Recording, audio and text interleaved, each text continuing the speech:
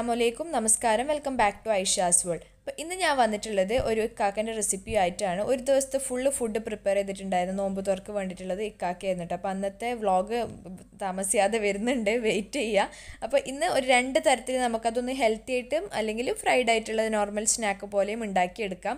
ആ ഒരു റെസിപ്പിയാണ് കാണിച്ചു തരാൻ വേണ്ടിയിട്ട് പോകുന്നത്. പഫ്സിന്റെ ടേസ്റ്റുള്ള ഒരു സ്നാക്കാണ് കേട്ടോ അപ്പോൾ നിങ്ങൾക്ക് എല്ലാവർക്കും ഈ ഒരു വീഡിയോ ഇഷ്ടപ്പെടുമെന്ന് വിചാരിക്കുന്നു. നമുക്ക് എങ്ങനെയാണ് ഈ ഒരു റെസിപ്പി ഉണ്ടാക്കിയെടുക്കുന്നതെന്ന് നോക്കിയാലോ? അപ്പോൾ ഇത് ചെയ്തെടുക്കാൻ വേണ്ടിയിട്ട് ഞാൻ ഇവിടെ ഒരു പാന് വെക്കുന്നുണ്ട്. ഞാനല്ല കാക്കയാണ് മൊത്തം സ്റ്റെപ്പൊക്കെ കാക്ക തന്നെയാണ് കേട്ടോ ചെയ്യുന്നത്. അപ്പോൾ പാന് ചൂടായി വരുന്ന സമയത്ത് ഇതിലേക്ക് കുറച്ച് വെളിച്ചെണ്ണ ഒഴിച്ചു കൊടുത്തിട്ടുണ്ട്. അതിനുശേഷം ഒരു ഉള്ളി ചേർത്ത് കൊടുക്കുന്നുണ്ട്. പിന്നെ അതിന്റെ കൂടെ തന്നെ ഒരു രണ്ട് ടീസ്പൂൺ ഇഞ്ചി വെളുത്തുള്ളിയും പിന്നെ ഒരു രണ്ട് പച്ചമുളകും കൂടി ചേർത്ത് കൊടുത്തിട്ടുണ്ട് കേട്ടോ. അപ്പോൾ കുറച്ചൊക്കെ ഞാൻ ഞാൻ കിച്ചണിൽ ഇല്ലാത്ത സമയത്ത് ഷൂട്ട് ചെയ്തത് ഇക്കാക്ക തന്നെയായിരുന്നു. അപ്പോൾ അതുകൊണ്ട് ചില വ്യത്യാസങ്ങൾ ഉണ്ടാവും കാണുന്ന സമയത്ത് നിങ്ങൾക്ക്. അപ്പോൾ എന്തായാലും ഇതേപോലെ ഇഞ്ചി വെളുത്തുള്ളിയും പച്ചമുളകും ഉള്ളിയും ഒക്കെ നല്ല പോലെ ഒന്ന് വഴറ്റിയെടുക്കണം കേട്ടോ. അപ്പോൾ ഇവിടെ നല്ലപോലെ വഴറ്റിയെടുക്കുന്നുണ്ട് അപ്പോൾ ഈ ഒരു റെസിപ്പി ഉണ്ടല്ലോ നമ്മൾ നോർമലി ഇത് പഫ്സ് ഉണ്ടാക്കുന്ന സമയത്ത് ഭയങ്കര അൺഹെൽത്തിയാണ് ഒരുപാട് നെയ്യൊക്കെ വേണം അതിന്റെ ഷീറ്റ് ഉണ്ടാക്കിയിട്ട് ചെയ്യാൻ. അപ്പോൾ ഇത് അതിനേക്കാളും കുറച്ച് ഹെൽത്തി ആയിട്ടുള്ള ഡിഷ് എന്ന് വേണമെങ്കിൽ പറയാം. ഭയങ്കര ഹെൽത്തിയാണെന്ന് ഞാൻ പറയുന്നില്ല മൈദ ഉള്ളതുകൊണ്ട്. പിന്നെ ഇതിലേക്ക് ആവശ്യത്തിനുള്ള ഉപ്പും കൂടി ചേർത്ത് കൊടുത്തിട്ടുണ്ട് കേട്ടോ അപ്പോൾ ഉപ്പും കൂടി ചേർത്ത് കൊടുത്ത ശേഷം നല്ലപോലെ ഒന്ന് വഴറ്റിയെടുക്കുകയാണ് ചെയ്യുന്നത്. ഇനി ഇതൊന്ന് ഉള്ളി ഒന്ന് ഒരുപാട് വാടി വരണ്ട. പഫ്സിൽ നമുക്കറിയാം അതിന്റെ മസാല ഭയങ്കരമായിട്ട് വാടി വരാറില്ല. ചെറുതായിട്ടൊന്ന് അതിന്റെ ആ ഒരു പച്ചമണം മാറിയിട്ട് ഒന്ന് ഇതായി കളർ ചേഞ്ചായി കിട്ടിയാൽ മതി. ഇനി ഇതിലേക്ക് പൊടികൾ ചേർത്ത് കൊടുക്കുകയാണ്. ഒരു കാൽ ടീസ്പൂൺ മഞ്ഞൾപ്പൊടി ചേർത്ത് കൊടുത്തിട്ടുണ്ട്. അതിന്റെ കൂടെ തന്നെ ഒരു മുക്കാൽ ടീസ്പൂൺ മുളക് പൊടി ചേർത്ത് കൊടുത്തിട്ടുണ്ട്. പിന്നെ ഒരു ഹാഫ് ടീസ്പൂൺ മല്ലിപ്പൊടി ചേർത്ത് കൊടുത്തിട്ടുണ്ട്. പിന്നെ ഇതിലേക്ക് ചേർത്ത് കൊടുക്കുന്നത് ഗരം മസാലയാണ്. ഇത്തിരി ഒരു കാൽ ടീസ്പൂൺ ഗരം മസാലയും കൂടി ഇതിലേക്ക് ചേർത്ത് കൊടുക്കുന്നുണ്ട് കേട്ടോ. എന്നിട്ട് ഈ പൊടികളൊക്കെ ഇട്ട ശേഷം ഇത് ഒന്നും കൂടി ഒന്ന് വഴറ്റിയെടുക്കണം. എന്നിട്ട് ആ പൊടികളെ പച്ചമണം മാറുന്നത് വരെ വഴറ്റിയെടുക്കണം കേട്ടോ.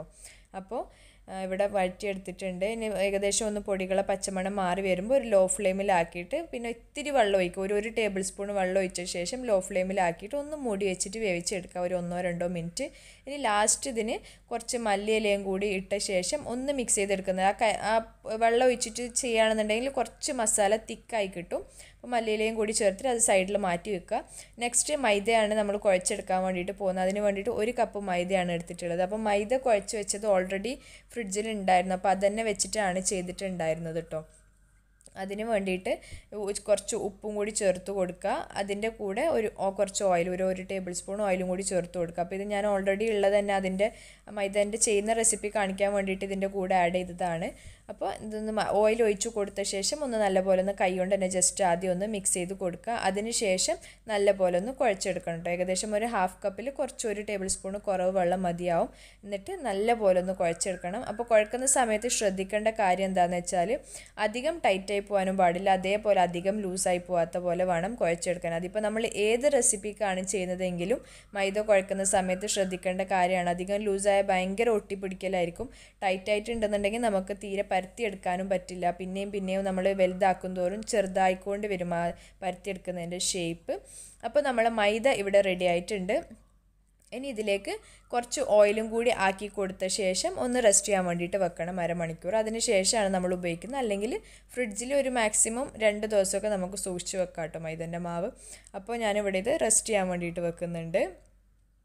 ഇനി നെക്സ്റ്റ് പരിപാടി എന്ന് പറയുന്നത് മൈദ പരത്തി എടുക്കുന്ന പരിപാടിയാണ്. അപ്പോൾ അതിന് വേണ്ടിയിട്ട് മൈദന്റെ ഒരു ബോ അതിൽ ഏകദേശം പകുതി എടുത്തിട്ടുണ്ട് കേട്ടോ. അപ്പോൾ ഇക്കാക്ക് ഇപ്പോൾ ഇവിടെ എങ്ങനെയാണ് ചെയ്യുന്നതെന്ന് വെച്ചാൽ നല്ലപോലെ മൈദ നല്ല തിന്നായിട്ട് പരത്തിയ ശേഷം റൗണ്ട് ഷേപ്പിൽ കട്ട് ചെയ്തെടുക്കുകയാണ് ചെയ്യുന്നത്. അപ്പോൾ നിങ്ങൾക്ക് അല്ലാന്നുണ്ടെങ്കിൽ ഇതിന്റെ ഒരു നാലിലോ ഇതിന്റെ ഒരു പകുതി മാവ് എടുത്ത ശേഷം റൗണ്ട് ഷേപ്പിൽ തന്നെ ആയിട്ട് പരത്തിയെടുത്താലും മതി.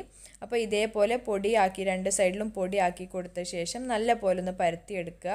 അപ്പോൾ റൗണ്ട് ഷേപ്പ് ആയി കിട്ടാത്ത ആൾക്കാരാണ് നമ്മളിത് റൗണ്ട് ഷേപ്പിന്റെ ആ ഒരു ഷേപ്പ് വെച്ചിട്ട് കട്ട് ചെയ്തിട്ടാണ് ചെയ്യുന്നത്. അതുകൊണ്ട് റൗണ്ട് ഷേപ്പ് കിട്ടാത്ത ആൾക്കാരാണെങ്കിൽ ഇപ്പോൾ ഇതിൽ കാണിച്ച പോലെ നല്ല തിന്നായിട്ട് പരത്തിയ ശേഷം പിന്നെ കട്ട് ചെയ്തെടുത്താൽ മതി കേട്ടോ ഷേപ്പ് അപ്പോൾ ഇതേപോലെ നല്ല പോലെ പരത്തി കൊടുക്കുന്നുണ്ട്. അത്യാവശ്യം പൊടി ഇട്ട് കൊടുത്തിട്ട് തന്നെ പരത്തി എടുക്കാൻ വേണ്ടിയിട്ട് ശ്രദ്ധിക്കുക കേട്ടോ അല്ലാന്നുണ്ടെങ്കിൽ ഒട്ടിപ്പിടിക്കും പെട്ടെന്ന് നമുക്ക് തിന്നായിട്ട് കിട്ടിയില്ല അപ്പോൾ ഇതേപോലെ നിങ്ങൾക്ക് എങ്ങനെ എത്രയാണോ മാക്സിമം പരത്തിയെടുക്കാൻ പറ്റുന്നത് അത്രയും ആ ഒരു സൈസിൽ പരത്തിയെടുക്കുക അപ്പോൾ നമുക്ക് നല്ല തിന്നായിട്ട് ചെയ്തെടുക്കാൻ വേണ്ടിയിട്ട് പറ്റും. അല്ലാതെ നമ്മൾ ചെറിയ ബോളനെ എടുത്ത് ചെയ്യുകയാണെന്നുണ്ടെങ്കിൽ ചിലപ്പോൾ അത്ര തിന്നായിട്ട് നമുക്ക് കിട്ടില്ല. അപ്പോൾ കുറച്ചും കൂടി പൊടി എടുത്ത് ചേർത്ത് കൊടുത്ത ശേഷം നല്ലപോലെ പരുത്തി എടുക്കുന്നുണ്ട് കേട്ടോ. അപ്പോൾ ഇവിടെ മൊത്തത്തിൽ പരുത്തി എടുത്തിട്ടുണ്ട് അതിന് ശേഷം ഇതിൽ ഇതേപോലെ എന്തെങ്കിലും ഒരു അടുപ്പോ അങ്ങനത്തെ എന്തെങ്കിലും സംഭവം വെച്ചിട്ട് നല്ല റൗണ്ട് ഷേപ്പിലായിട്ട് കട്ട് ചെയ്തെടുക്കുക. കറക്റ്റായിട്ട് അപ്പോൾ നമുക്ക് ചെയ്യുമ്പോൾ നല്ല കറക്റ്റ് ഷേപ്പിൽ കിട്ടും. അപ്പോൾ അതേപോലെ ഞങ്ങൾ മൂടി വെച്ചിട്ട് ഒന്ന് റൗണ്ട് ഷേപ്പിൽ കട്ട് ചെയ്തെടുത്തിട്ടുണ്ട്. ഞങ്ങളെല്ലാക്കൊക്കെ ചെയ്തിട്ടുണ്ട്. ഇനി ഇത് നാലായിട്ട് കട്ട് ചെയ്തെടുക്കുകയാണ് കേട്ടോ ചെയ്യേണ്ടത്. അപ്പോൾ നമ്മളിപ്പോൾ കിട്ടിയ ഈ ഒരു സർക്കിളിന് നാലായിട്ട് ഒരു പിസ്സ കട്ടർ വെച്ചിട്ട് കട്ട് ചെയ്ത് കൊടുക്കുന്നുണ്ട്. എന്നിട്ട് അതിന്റെ ഉള്ളിലാണ് നമ്മൾ ഫില്ലിങ്സ് വെച്ചിട്ട് ചെയ്യാൻ വേണ്ടിയിട്ട് പോകുന്നത്. അപ്പോൾ ഇവിടെ മൊത്തത്തിൽ നാലായിട്ട് കട്ട് ചെയ്ത് കൊടുത്തിട്ടുണ്ട്. പിന്നെ നമുക്ക് വേണ്ടത് എഗ്ഗാണ് കേട്ടോ അപ്പോൾ എഗ്ഗിനെ നാലായിട്ടാണ് കട്ട് ചെയ്തെടുക്കുന്നത്. ഈ ചെറിയ ഇതായതുകൊണ്ട് ഒരു പകുതി എഗ്ഗ് വെക്കാനുള്ള സ്ഥലം അതിൽ ഉണ്ടാവില്ല. അപ്പോൾ അങ്ങനെ ആകുമ്പോൾ കറക്റ്റായിട്ട് മടക്കി എടുക്കാൻ പറ്റില്ല. അതുകൊണ്ട് ഒരു എഗ്ഗിനെ നാല് കഷ്ണം ആക്കിയ ശേഷമാണ് നമ്മൾ അതിന്റെ ഉള്ളിൽ വെച്ച് കൊടുക്കാൻ വേണ്ടിയിട്ട് പോകുന്നത്. അപ്പോൾ ഈ സംഭവം മസാല നിങ്ങൾ നല്ല അടിപൊളി മസാലയാണ് കേട്ടോ എന്തായാലും ട്രൈ ചെയ്ത് നോക്കണം. അതിന്റെ കൂടെ ഈ ഒരു എഗ്ഗും വെച്ചിട്ട് ഈ ഒരു സ്നാക്ക് വരുമ്പോൾ നല്ല ടേസ്റ്റി ആയിട്ട് തന്നെ നമുക്ക് കിട്ടുന്നുണ്ട്. അപ്പോൾ ഇനി ഇതിലേക്ക് ഓരോന്നിലേക്കും ഓരോ മസാ കുറച്ച് കുറച്ച് മസാല ഒരു ഒന്നോ രണ്ടോ ടേബിൾ സ്പൂണ് മസാല ചേർത്ത് കൊടുക്കുക കേട്ടോ നാലെണ്ണത്തിലും മസാല ചേർത്ത് കൊടുക്കുന്നുണ്ട്.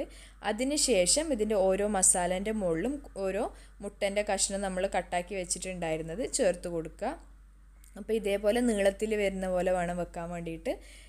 എന്നിട്ട് നമുക്കിത് റോൾ ചെയ്തെടുക്കാനാണ് ഉള്ളത് കേട്ടോ അപ്പോൾ ഇതേപോലെ മുട്ടന്റെ കഷ്ണം കൂടി വെച്ച് കൊടുത്ത ശേഷം രണ്ട് സൈഡിൽ നിന്നും മടക്കി കൊടുക്കുക ഇതേപോലെ കണ്ടോ? രണ്ട് സൈഡിൽ നിന്നും മടക്കി കൊടുത്തിട്ട് ഒന്ന് റൊട്ടേറ്റ് ചെയ്തെടുക്കുന്ന റോൾ ചെയ്തെടുക്കുകയാണ് ചെയ്യുന്നത്. അപ്പോൾ ഇങ്ങനെ ആകുമ്പോൾ നമുക്ക് കറക്റ്റായിട്ട് മസാലയൊന്നും പുറത്താവാത്ത പോലെ തന്നെ കിട്ടും. പൊരിക്കുകയാണെങ്കിലും അവയിൽ വേവിക്കുകയാണെങ്കിലും ഒക്കെ. അപ്പോൾ ഒരെണ്ണം കൂടി ജസ്റ്റ് കാണിച്ചു തരാം കേട്ടോ അപ്പോൾ ഇത് ഞാനിപ്പോൾ ചെയ്തിട്ടുണ്ടായിരുന്ന നാലെണ്ണം. നാലെണ്ണം പൊരിക്കാനും നാലെണ്ണം അത് ആവിയിൽ വേവിക്കാനുമാണ് പോകുന്നത്. അപ്പോൾ അതുകൊണ്ട് ആദ്യത്തെ നാലെണ്ണം മാറ്റി വെച്ചിട്ടുണ്ട് ആവിയിൽ വേവിക്കാനുള്ളത്.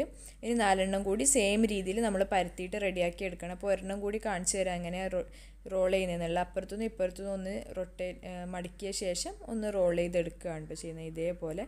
അപ്പോൾ നമ്മൾ ബാക്കി നാലെണ്ണം കൂടി റെഡിയാക്കി എടുക്കാം. കണ്ടോ? മൊത്തത്തിൽ എട്ടെണ്ണവും നമുക്ക് റെഡിയായി കിട്ടിയിട്ടുണ്ട്. ഇനി ആദ്യം നമുക്ക് ആവിയിൽ എങ്ങനെയാണ് വേവിക്കുക എന്നുള്ളത് നോക്കട്ടെ. അപ്പോൾ ആവിയിൽ വേവിക്കുന്നതിന് വേണ്ടിയിട്ട് മുട്ടന്റെ വെള്ളയോ പാലോ വെച്ചിട്ട് അതിന്റെ മുകളിലൊന്ന് ജസ്റ്റ് ആക്കി കൊടുക്കണം ബ്രഷ് വെച്ചിട്ട്. അല്ലാന്നുണ്ടെങ്കിൽ ഭയങ്കര ഡ്രൈ ആയി പോകും ആവിയിൽ വേവിച്ചെടുക്കുന്ന സമയത്ത്. അപ്പോൾ ആദ്യത്തെ നാലെണ്ണം നമ്മൾ ഇതേപോലെ പാൽ വെച്ചിട്ട് ഒന്ന് ഇതാക്കി കൊടുത്തിട്ടുണ്ട്. ഇനി ഒരു പാത്രം എടുക്കുക. ഒരു ചെറിയ പാത്രം എടുക്കട്ടെ. ഒരു പാത്രത്തിന്റെ ഉള്ളിലാണ് നമ്മൾ വെക്കുന്നത്. ഞങ്ങളിപ്പോൾ ഇവിടെ കേക്കിന്റെ പാത്രമാണ് എടുത്തിട്ടുള്ളത്. അതിൽ കുറച്ച് ഓയിലാക്കി കൊടുത്ത ശേഷം അതിന്റെ മുകളിൽ വേണമെങ്കിൽ ബട്ടർ പേപ്പർ വെക്കാം. അല്ലാന്നുണ്ടെങ്കിൽ ഇതേപോലെ ഡയറക്റ്റായിട്ടും ചെയ്യാം. ഡയറക്റ്റായിട്ട് വെക്കുമ്പോൾ ചിലപ്പോൾ പൊട്ടി പിടിക്കാനുള്ള ചാൻസ് കൂടുതലാണ്. ബട്ടർ പേപ്പറും കൂടി വെക്കുകയാണെങ്കിൽ എളുപ്പത്തിലായി കിട്ടും കേട്ടോ അപ്പോൾ ഇത് നാലെണ്ണം വെച്ച് കൊടുക്കുന്നുണ്ട്.